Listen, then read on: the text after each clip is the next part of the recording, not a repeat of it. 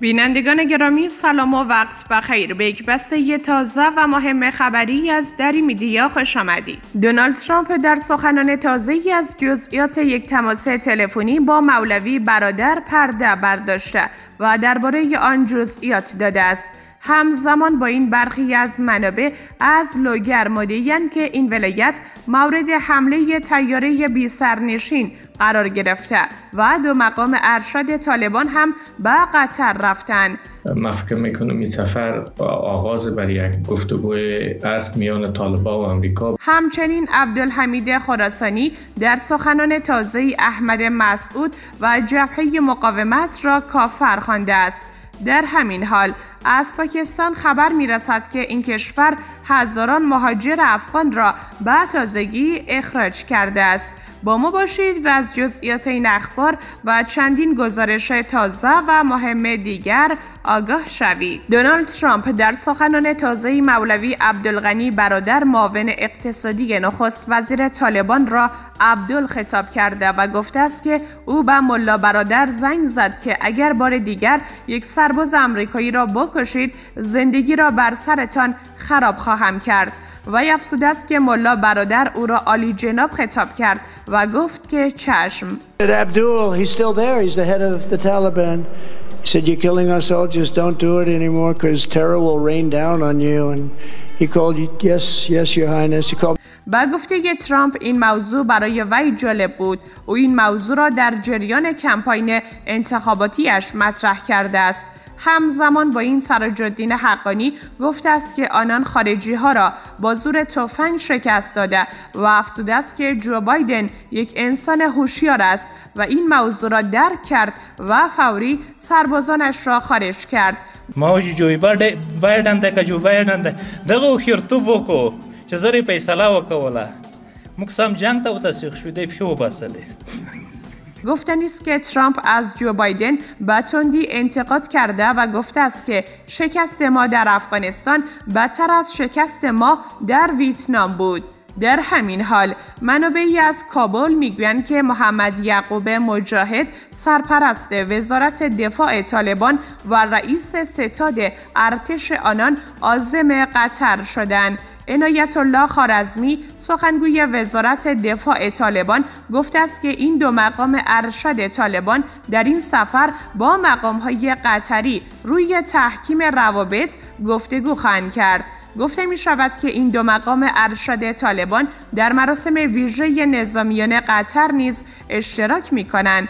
جزئیات زیادی در مورد این دیدار و اینکه آیا این دو مقام طالبان با مقامات امریکایی هم دیدار و گفتگو خواهند کرد و یا خیر منتشر نشده است. سفر آغاز بر یک گفتگو است میان طالبان و امریکا بالای نشست دوم قرار است در ماه می در مورد افغانستان در قطر برگزار شد. همزمان با این عبدالحمید خراسانی یک تن از طالبان پنشری تبار در سخنان تازه باز هم از احمد مسعود به تندی انتقاد کرده و همکاران خارجی ها را کافر خوانده است و این مدیر شده است که این سخنان من نیست بلکه سخنان خداوند است. این احمدی مسعود دیگر بابا خدا شاهد از اگر امر الله رو ما سیال بگیریم. یعنی خود صفتی نشه مردم پنشیر می‌دونه که ما از جمع خانواده معززین اجداد ما از فاتحین جمله نورستان و که خراسانی علاوه کرده است که او از خانواده اصیل پنشیری است و خاندان او در فتح نورستان و مسلمان کردن مردم این ولایت نقش داشتند. این مقام تاجک تبار طالبان در مورد گفته های مردم درباره خودش می‌گوید که من مسئول و پاسخگو در برابر خداوند هستم و در برابر مردم پاسخگو نیستم. کنار اسلام استاد شدیم. ما در حضور رب العالمین پاسخگو هستیم نه در حضور بشریت. عبدالحمید خراسانی گفته است که احمد مسعود آزادی خواه نیست زیرا اگر وی آزادی خواه می بود حداقل یک تانک امریکایی را می‌زد و چند سرباز امریکایی را میکشت تانک امریکایی رو خب می‌زدی یک چند سرباز امریکایی رو اشغالگر بود نه می‌زدی که می‌گفتم آفرین. مقاومتگران اما می‌گویند که ظلم جریان دارد و آنان تا زمانی که ظلم جریان داشته باشد مبارزه می‌کنند. مردم افغانستان واجب است که در برابر این ظلم استاد شوند. طالبان اما می‌گویند که نظام عدل اسلامی حاکم شده و مبارزه کردن بغاوت و نادرست است. در همین حال ندو محمد ندیم وزیر تحصیلات عالی طالبان می‌گوید که به کافران باور نکنید. و این میافزاید که باور کردن به اینکه کافران بشر دوستن کفر می باشد و کافران هرگز با مسلمانان دوست نخواهند شد. و یفسود است که حقوق بشر بهانه است و خارجی ها از این موضوع استفاده می کنند تا بر طالبان فشار آورند. مسلمان سره شکول د دې په مذهب کوپر دی. همچنین برخی از منابع از ولایت لوگر می‌گویند که نظامیان پاکستانی بر یک تجمع طالبان پاکستانی در این ولایت حمله کردند.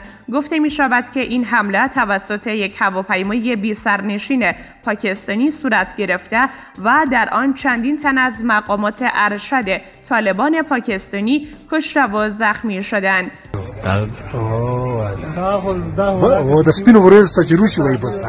در همین حال ادعاهایی هم وجود دارد که یک انفجار در لوای چهارم قلردوی 203 منصوری طالبان در این ولایت صورت گرفته است.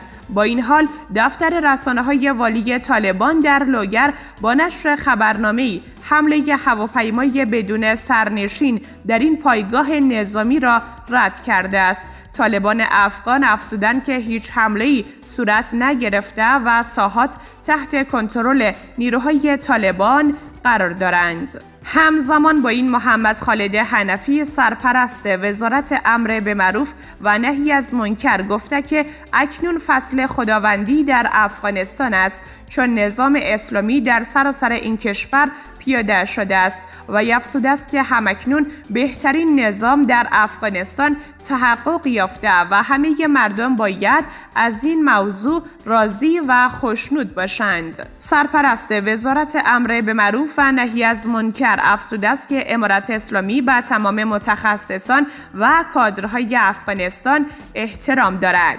در همین حال منابع محلی در پکتیا می‌گویند که در پی انفجار مواد منفجر ناشده از جنگ های گذشته در این ولایت دو کودک جان باخته و چهار تن دیگر زخمی شدند. به گفته یه منابع این رویداد ناوقت روز شنبه دوازدهم هوت در ولسوالی جانیخل ولایت پکتیا up. رخ داده است. قربانیان این رویداد همه اعضای یک خانواده هستند. از سوی هم رسانه های پاکستانی گزارش دادند که در جریان یک هفته گذشته دست کم پنج هزار پناهجوی افغان از این کشور اخراج شدند.